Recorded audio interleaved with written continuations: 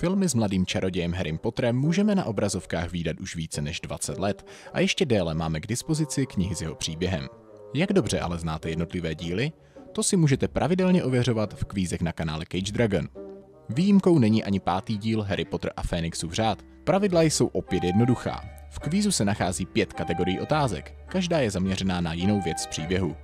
V každé kategorii je pak pět otázek. Čtyři za pět bodů, na jejich zodpovězení by vám mělo ve většině případů postačit zhlédnout film, a poslední pátá za 10 bodů, která vychází z knižní předlohy.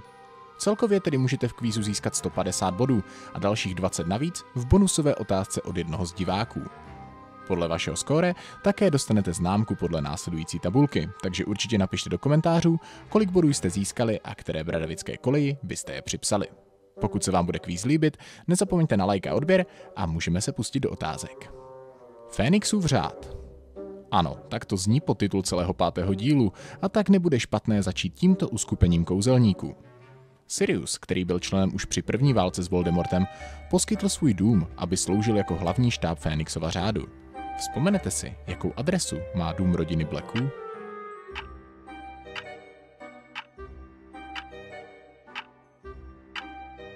Grimoldovo náměstí 12. Po Siriusově smrti na konci tohoto dílu však tento dům řád opustil a přesídlil do Doupěte. Harry velmi rychle pochopil, že Fénixův řád je uskupení mnoha kouzelníků a čarodějek, které do té doby nikdy neviděl.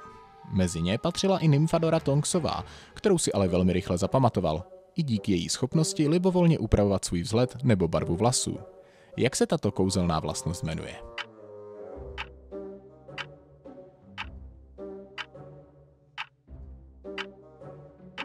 Metamorfomagie. Tato schopnost je velmi vzácná a vrozená, takže se jí prostě nedá naučit. V hlavním štábu, kromě členů řádu a bradavických studentů, přebýval ještě skřítek, který patřil rodině Blacků a také zastával názory protimudlovsky orientované rodiny. Jak se tento domácí skřítek jmenoval?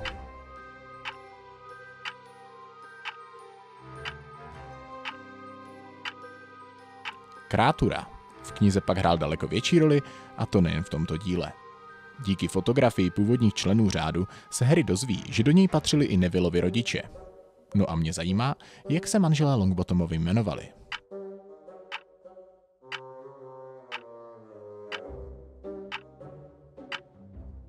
Frank a Alice. Oba přišli o rozum v důsledku mučení kledbou Cruciatus, kterou na ně použili smrtědi po pádu Voldemorta. A to proto, že se domnívali, že mají o jejich pánovi informace, podle kterých by ho mohli najít. Do původního řádu patřili i bratři Prívitovi, kteří byli sourozenci Molly Weasleyové. Oba však zahynuli v boji v první válce. Jaké křesní jména bratři měli?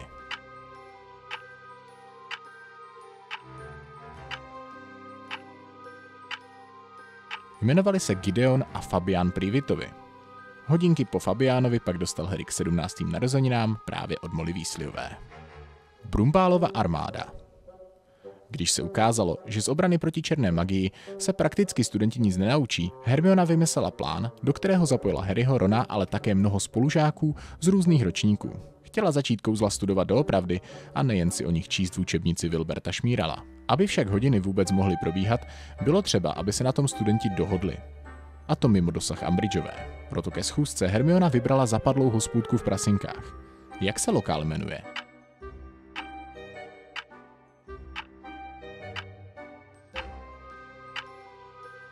Bylo to v hostinci u prasečí hlavy. Výčepním je tam Brumbálův bratr Eberforce, což ale hlavní trojice v tu dobu vůbec netušila. Když už se studenti dohodli na společném cíli a také na názvu Brumbálova armáda, byla tu ještě jedna potíž. Kde se budou scházet a učit?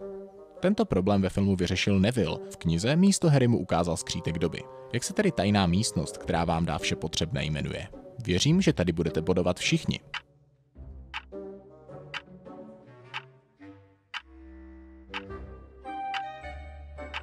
Komnata nejvyšší potřeby. Stačilo na to jen pomyslet a okamžitě vám to komnata dopřála. Ale Brumbálova armáda byla hlavně u studiu kouzel, a tak se zeptám, jaké zaklínadlo studenti procvičovali na jejich první společné hodině.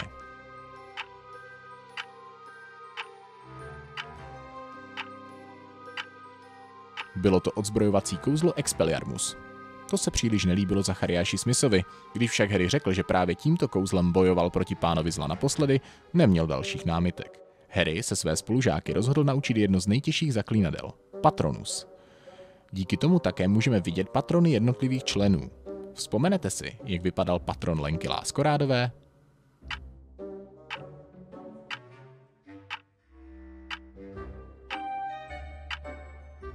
Měl podobu zajíce.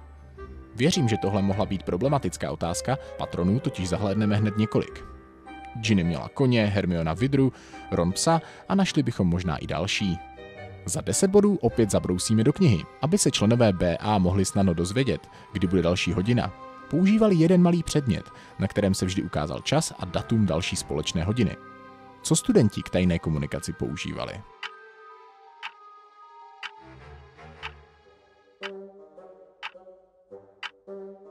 Falešné galeony. Hermiona je očarovala tak, aby bylo možné skrze ně zprávy posílat a zároveň byly nenápadné, protože kdyby byly nalezeny při nějaké kontrole, jen těžko by z nich neznalý člověk vyčetl, co čísla znamenají. Dolores Umbridgeová už když Dolores poprvé promluvila na slavnosti k zahájení školního roku, dalo se odvodit, že hodlá v Bradavicích zavést spoustu změn. No, že by byly k lepšímu. To asi ne, ale rozhodně šli na ruku ministerstvu. Vždyť Umbridgeová byla na post profesorky dosazena samotným popletalem. Mě však zajímá, jakou práci na ministerstvu vykonávala, než se stala profesorkou.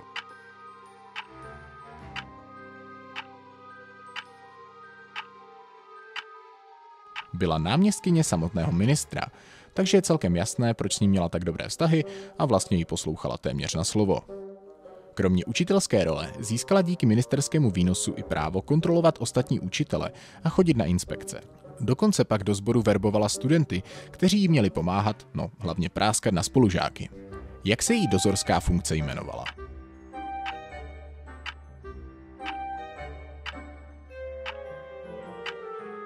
Byla vrchní vyšetřovatelka.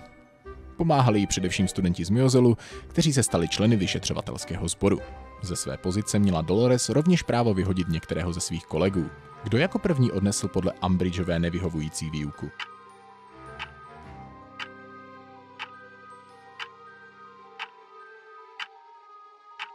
profesorka jasnovědectví Sybila Triloniová. Tu Umbridgeová zbavila její pozice, ovšem Brumbálí připomněl, že nemá právo vykázat profesorku z hradu a pozemků. Na její post pak nastoupil Kentaur Firenze, což bylo Umbridgeové proti srsti. V jádru zlá žena navenek vystupovala jako milá dáma, nebo se o to alespoň snažila. Dá se také vyčíst, jaké bylo její nejoblíbenější zvíře, které bylo konec koncům i jejím patronem. Důkazy o tom máme přímo v jejím kabinetu. Jakého domácího mazlíčka bychom takto mohli označit?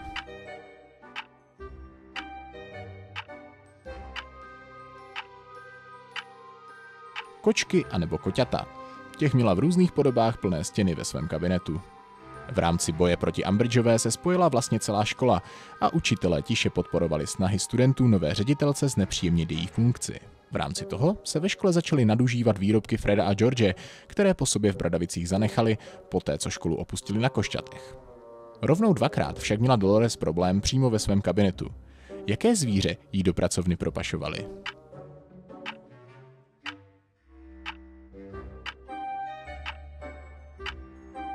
Byli to hrabáci. Ti jdou po lesklých a vzácných předmětech a tak se pokusili Dolores ukousnout prsty, na kterých měla mnoho prstenů. Otázka od diváka. To, že rodina Blacků byla vyloženě protimudlovsky orientovaná, už jsme si řekli. Měla však i jednu velice zvláštní a krutou tradici, a ta se týkala jejich domácích skřítků. Vzpomenete si, co se mohlo stát každému z těchto služebníků v jejich domě?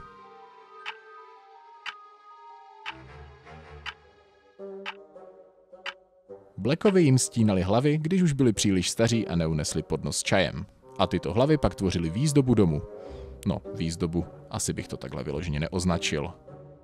Věždba. Celý rok Harry věděl, že Voldemort chce získat něco z ministerstva. Předpokládal, že jde o zbraň, ve skutečnosti to ale byla věždba, která mu měla pomoci k zabití Harryho a získání úplné nadvlády. Ta však byla právě na ministerstvu, kde se pán zla nemohl jen tak ukázat. Jak se tedy nazývá odbor, na kterém se ukrývala věždba a spousta dalších tajností ministerstva?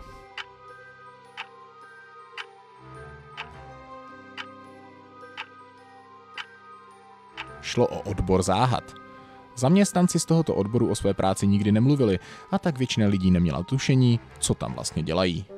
Když Harry spatřil ve snu útok na pana Weasleyho, zburcoval profesorku McGonagallovou a také Albuse Brumbála, který okamžitě vyslal zprávu řádu a také využil jednoho z portrétů v ředitelně. Muž na něm totiž mohl přejít na svůj druhý obraz, který se nacházel na ministerstvu kouzel, a tam zařídit, aby Artura našli. Jak se muž na obraze jmenoval?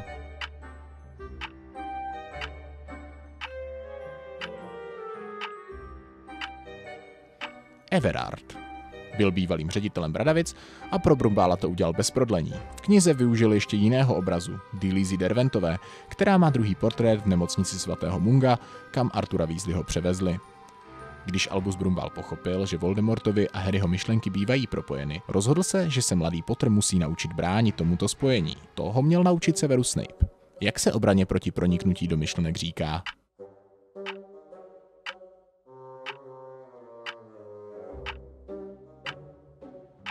Tato technika se nazývá nitrobrana, Harry mu však příliš nešla a také mu nějak zvlášť nepomohla.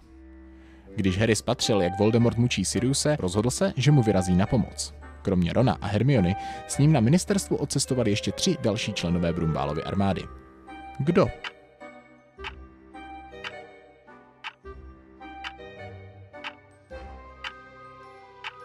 Byli to Ginny, Lenka a Neville. Všichni tři dokázali uniknout vyšetřovatelskému sboru a pomocí testrálů odcestovat do Londýna. Ve filmové verzi se kýžená věždba na odboru záhad rozbije, a to Luciusi Malfoyovi přímo před očima. V knižní předloze se to však stalo, aniž by si toho smrtědi všimnuli a zjistili to až posléze. Kdo skutečně věždbu rozbil?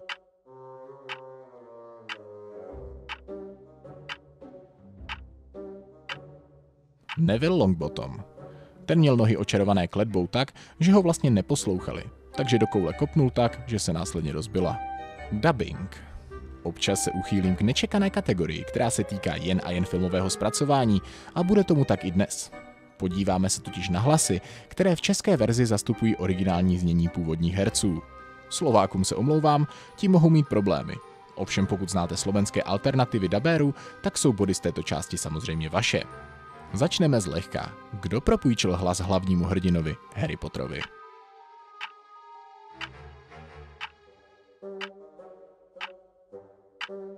Většině z vás určitě velmi známý herec Vojtěch Kotek, kterého popularita začala především s filmem Snowboardiáci.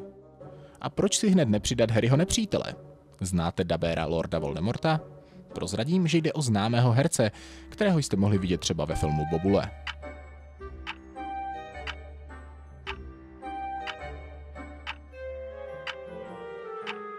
Správná odpověď je Miroslav Táborský. Filmový Snape se od toho z knih poměrně liší a možná i proto bývá spíš oblíbený než neoblíbený u většiny filmových fanoušků. Ellen Rickman jej stvárnil skvěle, i když se jeho chování s předlohou často rozchází. Oblibu u nás má jistě i proto, že byl skvěle namluven. Vzpomenete si na dabéra Severuse Snape'a?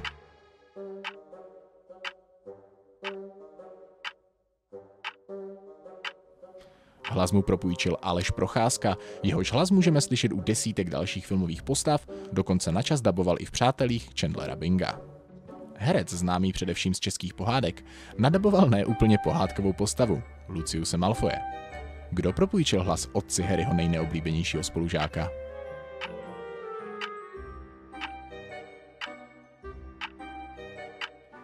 Pavel Trávníček. Mám pocit, že zrovna jeho bude vědět většina z vás. 10 bodů vám pak přinese, pokud si vzpomenete na Dabéra, ředitele školy, Albuse Brumbála.